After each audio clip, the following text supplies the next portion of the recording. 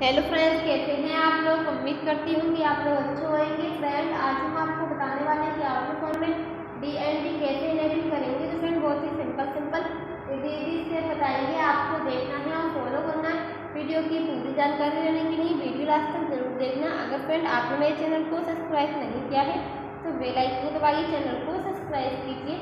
ये फ्रेंड आपको ऑप्शन देखने को मिलेगा फ़ोन में सेटिंग सेटिंग को ओपन करना है। यहाँ पर आपको ऑप्शन देखने को मिलेगा फ़ोन में साउंड तो आपको अपने फ़ोन में साउंड पे क्लिक कर यहाँ पर आपको नोटिफिकेशन पे क्लिक कर लेना। है नोटिफिकेशन का ऑप्शन देखने को मिलेगा। यहाँ से आपको क्लिक कर लेना। क्लिक करने के बाद में आपके यहाँ पर बहुत सारे एप्लीकेशन ओपन होंगे। यहाँ पर आपको देखने को मिलेगा डू नॉट डिस्टर्ब तो आपको यहाँ पर क्लिक कर लेना। है जैसे कि जैसे कि आपके फ़ोन में डू नॉट डिस्टर्ब ऑफ़ हो तो आपको यहाँ से इस प्रकार ऑन कर लेना। ऑन करने के बाद में आप अपने फ़ोन में डू नॉट डिस्टर्ब इनेबल करेंगे। तो आपके फ़ोन में कोई भी व्यक्ति कॉल लगाएगा, ना ही स्टॉप बताएगा, ना ही बिज़ी बताएगा, ना ही व्यस्त उसकी तरफ़ से बराबर घंटी बजेगी, मगर आपकी तरफ़ कोई भी कॉल, कोई भी मैसेज देखने को नहीं मिलेगा। तो इस प्रकार आप अपने फ़ोन में डी एन डी मतलब डू नॉट डिस्टर्ब इनेबल कर सकते हैं। तो आई होप अगर आपको मेरी वीडियो अच्छी लगी हो गाइज़ तो वीडियो को शेयर करें, लाइक करें, चैनल पर नए हो तो चैनल को सब्सक्राइब करें। मिलते हैं अगली नेक्स्ट वीडियो में। तब तक के लिए बाबा एंड टेक केयर